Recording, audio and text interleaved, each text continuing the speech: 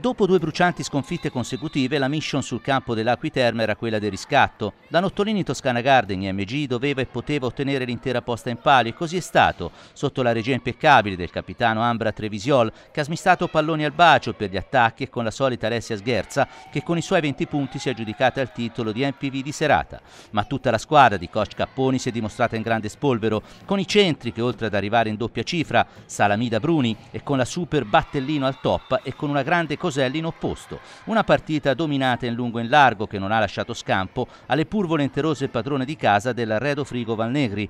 Siamo in provincia di Alessandria. Primo e terzo set con le avversarie lasciate a 20 e solo nel secondo parziale la Nottolini ha relativamente faticato di più, chiudendo comunque sul 25 a 23.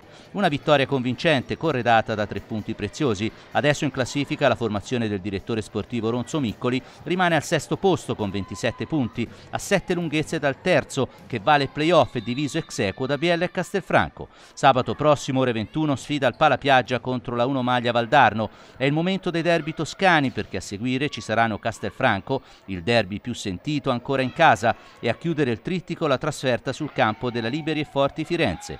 In palio ci sono nove punti che, qualora conquistati, potrebbero rilanciare le ambizioni delle capannoresi, ma forse è davvero l'ultima chance per sognare.